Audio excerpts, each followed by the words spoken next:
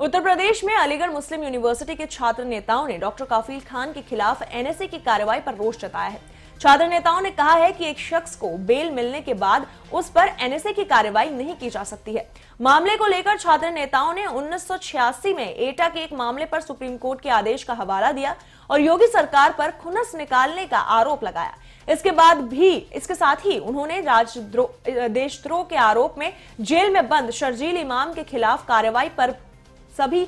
कार्रवाई पर भी सवाल खड़े किए। और आपको बता दें कि बीते 12 दिसंबर को एएमयू में भड़काऊ भाषण के आरोप में डॉक्टर काफिल खान को मुंबई से गिरफ़्तार कर जेल भेज दिया गया था। इस मामले में बीते सोमवार को काफिल खान को कोर्ट में जमानत मिल गई थी, लेकिन काफिल खान जेल से रिहा होते ही इससे पहले शुक्रवार को जिला मजिस्ट्रेट अलीगढ़ द्वारा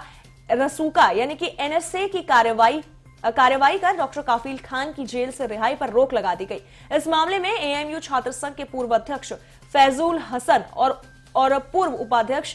अब्दुल कादिर जिलानी जिलानी ने डॉक्टर काफिल पर एनएसए की कार्रवाई के विरोध में सवाल उठाने शुरू कर दिए हैं। छात्र नेताओं ने कहा है कि 1986 के एटा के डीएम द्वारा इसी तरह की एक कार्रवाई पर सुप्रीम कोर्ट ने कहा था कि एक बार किसी की अगर बेल हो जाए तो जिला प्रशासन उस पर एनएसए की कार्रवाई